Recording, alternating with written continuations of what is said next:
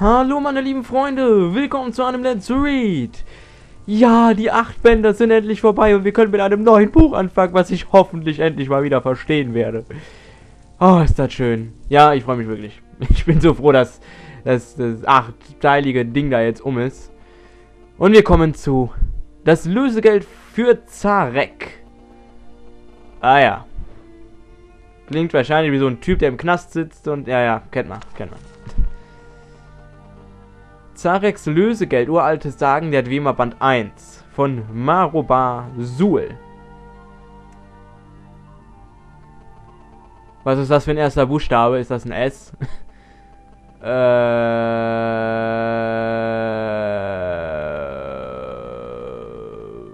ich bin überfordert. Was, was ist das für ein Buchstabe?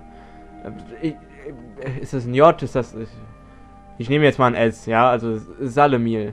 Salemir stand im Garten ihres Anwesens und las den Brief, den ihr der Diener gebracht hatte. Das Rosenbukett fiel ihr aus der Hand und landete auf dem Boden. Ein Moment lang war es, als, hätte die, als hätten die Vögel zu singen aufgehört und als hätte eine dunkle Wolke den Himmel verdeckt. Ihre sorgsam kultivierten und geordnete Oase schien von Dunkelheit überflutet zu werden. Wir haben euren Sohn, stand in der Nachricht. Wir werden in Kürze wegen des Lösegelds Kontakt mit euch aufnehmen. Zarek war also doch nicht bis Akkun gekommen. Eine Gruppe von Banditen, vermutlich Orks oder verfluchte Dunmar, mussten die gut ausgestattete Kutsche gesehen und ihren Sohn gefangen genommen haben. Ach, J, doch ein J, verdammte Scheiße. Jalemil klammerte sich an einem Pfosten und fragte sich, ob ihr Junge wohl verletzt sei. Er war doch nur ein Student und niemand, der sich gegen gut ausgerüstete Männer zur Wehr setzen könnte. Ob sie ihn geschlagen hatten? Die Vorstellung war mehr, als das Herz einer Mutter ertragen konnte. Sag mir jetzt nicht, dass sie ihr Lösegeldforderung so schnell geschickt haben, rief eine bekannte Stimme, und das dazugehörige bekannte Gesicht blickte durch die Hecke. Es war Zarek. Jalemil beeilte sich, den Jungen zu umarmen, Tränen liefen mir übers Gesicht. Was ist geschehen? schrie sie. Ich dachte, man hätte dich entführt. Das stimmt auch, sagte Zarek. Drei große Nord griffen uns mit einem Wagen auf den Frimforn-Pass an. Brüder, so erfuhr ich später, namens Matthais, Ulin und Kork. Du hättest die Männer sehen sollen, Mutter. Jeder von ihnen würde nur mit Mühe durch die Vordertür passen. Was ist geschehen? wiederholte sich Jam, ja, Jalemil. Hat man dich gerettet? Ich spielte mit den Gedanken darauf zu warten, aber ich wusste, dass sie eine Lösegeldforderung schicken würden und dachte mir, dass dich dies schrecklich in Sorge versetzen würde. Also dachte ich daran, was mein Mentor in Akkun mir gelehrt hatte. Ruhig bleiben, die Umgebung beobachten und nach einer Schwäche des Gegners Ausschau halten, sagte Zarek grinsend. Es dauerte eine Weile, denn diese Burschen waren wahre Monster. Und dann, als ich sie voreinander prahlen hörte, wurde mir plötzlich klar, dass die Eitelkeit ihre Schwäche war. Was hast du getan? Sie hatten mich in ihren Lager in den Wäldern unweit von Kael angekettet, auf einer Anhöhe, von der man einen Fluss sehen konnte. Ich hörte, wie einer von ihnen, Quark, den anderen erzählte, dass es wohl knapp eine Stunde dauern werde, den Fluss zu durchschwimmen. Die anderen nickten anerkannt, als ich das Wort ergriff. Ich könnte den Fluss in 30 Minuten überqueren, hin und zurück, sagte ich. Unmöglich, erwiderte Quark. Ich kann schneller schwimmen als du, kleine, als du kleines Wellplein. Also einigten wir uns darauf, von der Klippe zu, zu springen zur Insel in der Mitte des Flusses und dann wieder zurückzuschwimmen. Als wir uns auf den Felsen stellten, begann Quark mir die Finessen des Schwimmens beizubringen. Das Wichtigste seien gleichmäßige Bewegungen der Arme und Beine.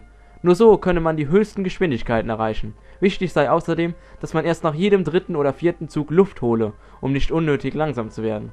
Man solle aber selbstverständlich auch nicht weniger atmen, damit einem nicht die Puste ausginge.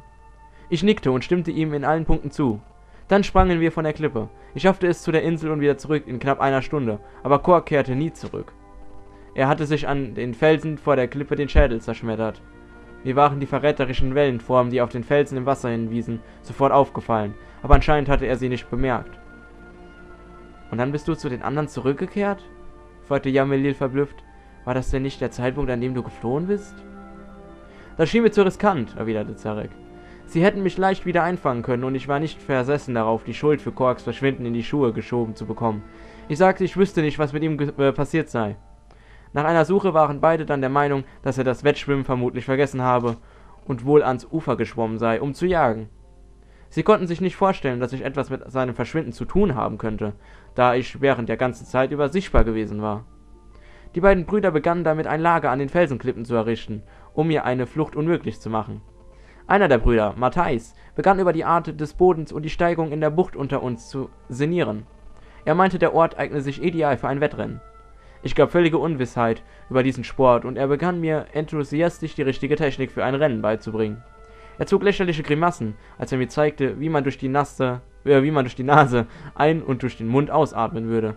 Er zeigte mir außerdem, wie man die Knie beim Aufwärtslaufen im richtigen Winkel anzuziehen habe und betonte, wie wichtig die richtige Fußstellung sei. Am wichtigsten meinte er, sei, dass der Läufer einen aggressiven, aber nicht zu anstrengenden Laufstil wähle. Nur so könne er das Rennen gewinnen. Es spräche nichts dagegen, während des Rennens Zweiter zu sein, solange man seine Kraftreserven für den Schlussspurt aufspare. aufspare. Ich war ein gelehriger Schüler und Matthijs meinte, dass, mir, dass wir vor dem Einbruch der Nacht ein kleines Wettrennen am Rande der Bucht machen sollten. Ulin beauftragte uns, auf unserem Rückweg Feuerholz mitzubringen. Wir starteten auf dem Weg, der die Klippe säumte. Ich folgte Matthijs Rat in, den, in Sachen Atem, Laufstil und Fußstellung, aber ich rannte von Anfang an mit voller Kraft. Trotz seiner längeren Beine lag ich ein paar Schritte vor ihm, als wir um die erste Ecke bogten. Da seine Augen auf meinen Rücken gerichtet waren, konnte Matthijs nicht die Ranke im Felsen sehen, über die ich sprang. Er stürzte und fiel über die Klippe, noch bevor er schreien konnte. Ich wartete einige Minuten, um wieder zu Atem zu kommen, und kehrte dann zu Ulin ins Lager zurück. Und dann hast du aufgefangen, äh, dann hast du angefangen aufzuschneiden, sagte Jalemil mit einem Stirnrunzeln. Das wäre doch die beste Möglichkeit zu, äh, das wäre doch die beste Möglichkeit zur Flucht gewesen. Ah, ich weiß nicht, wer was spricht hier, tut mir leid. Das mag vielleicht so aussehen, sagte Zarek zustimmend, aber du hättest die Gegend sehen sollen. Einige große Bäume. Und dann nichts als Büsche. Odin hätte meine Flucht bemerkt und mich schnell wieder eingefangen, und ich hätte den Schwierigkeiten gehabt, ihm die Abwesenheit von Matthijs zu erklären. Eine schnelle Erkundung des Gebietes und der Augenanblick einiger Bäume in der Nähe brachten mich dann auf die Idee für meinen letzten Plan. Als ich mit ein paar Zweigen zu Ulin zurückkehrte, erzählte ich, dass Matthijs, der einen langen, abgestorbenen Baum hinter sich her herschleife, etwas länger brauchen würde. Olin spottete über die Stärke seines Bruders und sagte, dass er selbst einen lebenden Baum samt Wurzeln in kurzer Zeit aus dem Boden reißen und in das Feuer werfen könne. Ich äußerte begründete Zweifel. Ich werde es dir zeigen, sagte er und riss ein acht Meter großes Exemplar mühelos aus dem Boden. Aber das ist doch gerade mal ein Pflänzchen, meinte ich abwertend. Ich dachte, du könntest einen Baum ausreißen. Sein Blick folgte dem meinen zu einem besonderen schwer anmutenden Exemplar am Rande der Lichtung. Ulin griff den Baum und begann mit unvorstellbarer Kraft und Wucht daran zu wackeln, um die Wurzeln aus dem Boden zu lösen. Dadurch löste er ein Wespennest aus, den oberen Ästen, das auf seinen Kopf fiel. Und in genau diesem Moment bin ich geflohen, sagte Zarek. Nicht ohne Stolz. Als nämlich Matthijs und Kork am Boden der Klippe lagen und Ulin von einem Schwarm Wespen umringt um sich schlug. Jalemin nahm ihren Sohn ein weiteres Mal in die Arme. Anmerkung des Herausgebers. Ich habe zunächst gezögert, die Werke von Maruba Sul zu veröffentlichen, aber als der Verlag der Universität von Gwilym mich bate, diese Ausgabe zu verlegen, beschloss ich, diese Gelegenheit zu nutzen, um die Dinge ein für alle Mal richtig zu stellen. Die Gelehrten sind uneinig über exakte Entstehungsdaten von Marub Suls Werken, aber es entspricht der allgemeinen Auffassung, dass sie von dem Dramatiker Goa Felim verfasst wurden, der in der Zeit zwischen dem Fall des ersten Cyrodiilischen Reiches und dem Aufstieg Tibers Subtims für seine beliebten Komödien und Romanzen bekannt war. Die gegenwärtige Theorie geht davon aus, dass Firlin einige authentische Erzählungen der Dwemer hörte und sie für die Bühne adaptierte, um Geld zu verdienen, zusammen mit umgeschriebenen Versionen seiner eigenen Stücke.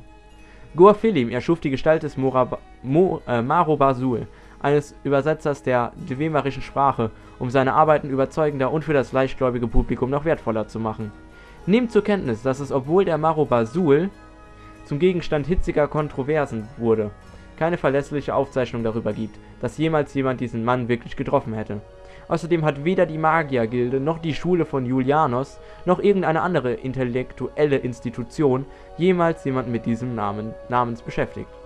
Wie dem auch sei, die Dwemer in die meisten von Marubasuls Erzählungen haben nur wenig mit der furchterregenden, unergründlichen Rasse gemein, der sich selbst die Dunma, Nord- und Rotwadunen vor Furcht unterwarfen und deren Ruinen noch heute Rätsel aufgeben. Ich fand die Geschichte schon ein bisschen geil, also ich weiß nicht, es ist irgendwie irgendwie so die Story, ja, ich habe die so und so überlistet. Das kennt man ja irgendwie schon aus anderen Filmen oder sonst irgendwas. Aber ich, es war mal wieder ein Buch, was ich verstanden habe und es war auch ein gutes Buch. Also mir hat das auf jeden Fall sehr viel Spaß gemacht, gefallen. Und äh, ja, ich hoffe euch auch. Und äh, ich denke mal, wir sehen uns morgen wieder. Wird sich zeigen. Ich habe momentan echt wenig Zeit. Tut mir leid, ihr merkt das wahrscheinlich. Ich kann momentan nicht jeden Tag was hochladen, weil ich echt wenig Zeit habe und so, aber ihr wisst schon, ne?